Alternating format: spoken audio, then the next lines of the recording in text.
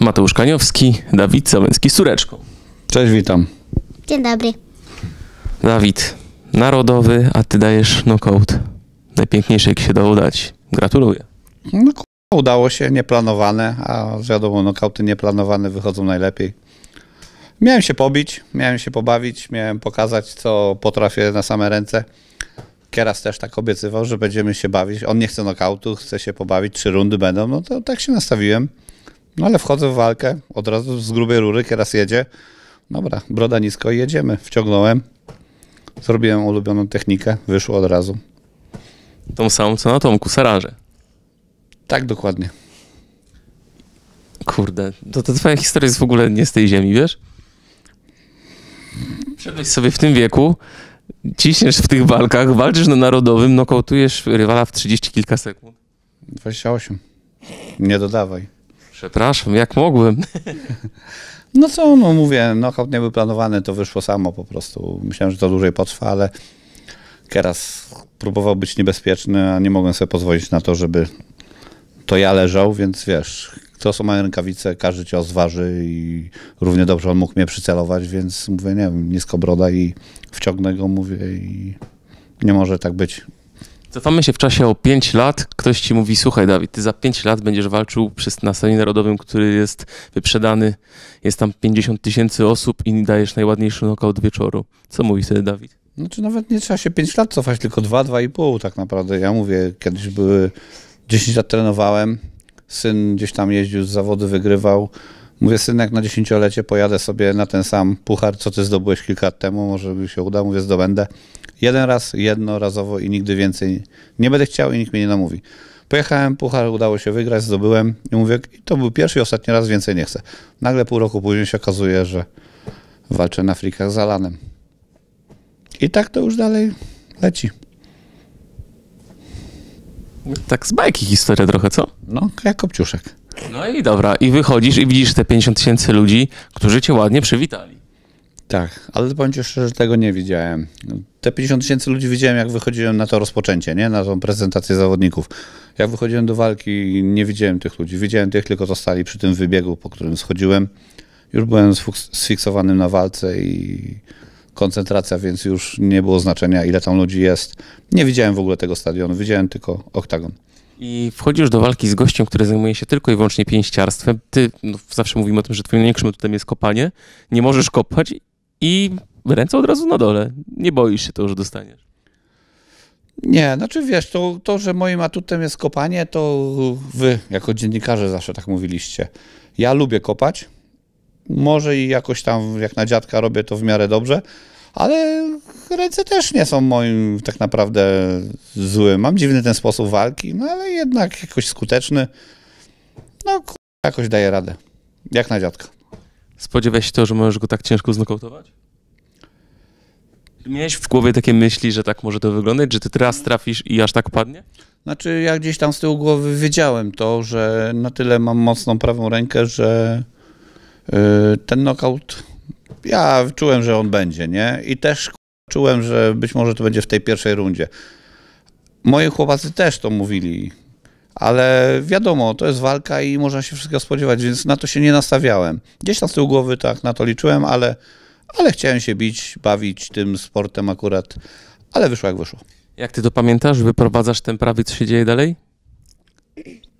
Jak ja to pamiętam? No, no że upada, kieras upada i już się nie podnosi, no tak pamiętam, nie? Jak już tak naprawdę upadł, jak widziałem w jaki sposób upada, to ja już wiedziałem, że się nie podniesie, bo to już widać było, że to już było na tyle mocne uderzenie, że tam naruszyło ten błędnik i już było widać po sposobie upadania, że już to jest koniec walki, nie? Także spokojnie sobie się oparłem o siatkę, no i czekałem. Sędzia od razu przerwał, no bo jak ktoś pada twarzą na ziemię i się nie rusza, no to Tak, dlatego mówię, ja widziałem już w jaki sposób upada, więc jak ktoś upada i wyciąga ręce w ostatniej chwili, to wiadomo, upada, zaraz się podniesie. A jak ktoś upada i to twarz leci pierwsza, a ręce zostają gdzieś tam z tyłu, to już wiadomo, że te kilka sekund nie wystarczy nie? na podniesienie się. no i przygoda życia zaliczona. Tak dosłownie, przygoda życia zaliczona, narodowy, nie mogło być lepiej tak naprawdę. No i może jakaś nagroda, kto wie. No nie dostałem hulajnogi, tak jak Labryga kiedyś za walkę ze mną. Pucharu też nie dostałem, nie było pucharów, ale obiecali mi, że doślą, także czekam, bo muszę coś Tureczce przekazać. Czeka na puchar. No właśnie, bo to obiecałeś, że to wygrasz, tak? No obiecałem, dlatego już Kierasowi mówiłem wczoraj na ważeniu. Sorry Kieras, ale ja muszę to wygrać. Dobra, on ci w ogóle zdążył zagryźć, bo powiedziałeś mi coś takiego, że on dwa razy jakoś mocno się zamachnął. Tak, ja spróbowałem na początku tam lewy, jakiś tam szybki, gdzieś tam lewy chyba gdzieś tam jakoś doszedł lekko. Później spróbowałem chyba lewy i prawy na dół, on się odsunął. I mówię, o, cofa się, to mówię, dobra, niebezpiecznie, bo mnie może skarcić, nie?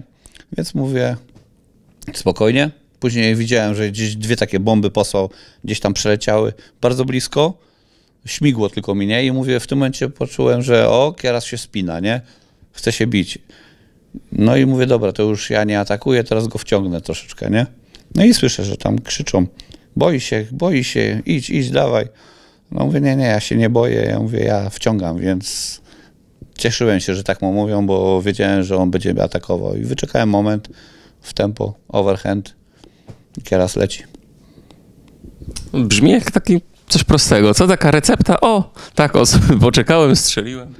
Tak, bo akurat ta akcja jest dla mnie bardzo prosta, bo to jest akcja, którą, to jest moja ulubiona, nie? Światła gasną. Tak, cały stadion wyczerpał cały prąd. Widziałem syna, jak świętował, było takie ujęcie, jakaś kamera go nagrała. Skakał tak szybko do góry ze szczęścia, że nie zdążyli go uchwycić. Widać tylko połowę twarzy później. Tak? To nawet nie wiem. Jos taką masą tak skakał? No tak, tak było widać na powtórkach. Jak pokazywali knockout, to było takie nagranie, jak Denis nagle tak krzyczy i tak wyskakuje, że operator nie zdążył w ogóle kamerą, zanim tak się cieszył. Taki dynamiczny grubasek? nie, dobrze, dobrze, jak się cieszył, to dobrze. Przynajmniej z ojca był dumny, nie? No powiem ci szczerze, że chyba nie dałeś nigdy powodu do tego, żeby nie być dumnym.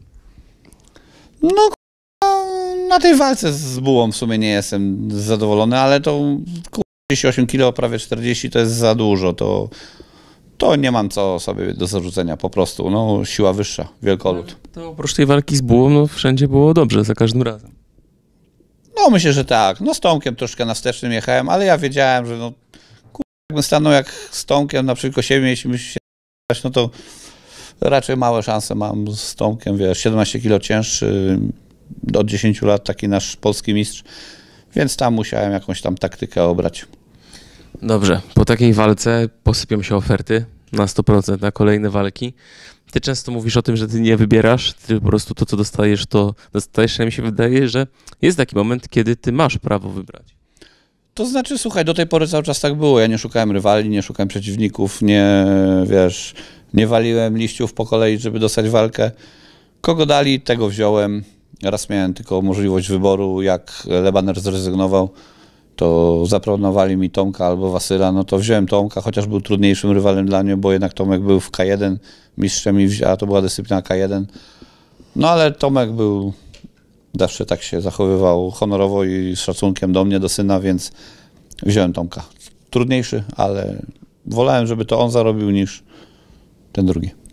Sorry, że przerwam. E, chciałabym powiedzieć, że e, warto iść po swoje i mieć. E, e, iść po własne cele. Tak, buziak. Kurczę, jak ładnie tutaj się skończyło, co? No widzisz, moja córeczka. Dziękuję bardzo. Dziękujemy. Dzięki również.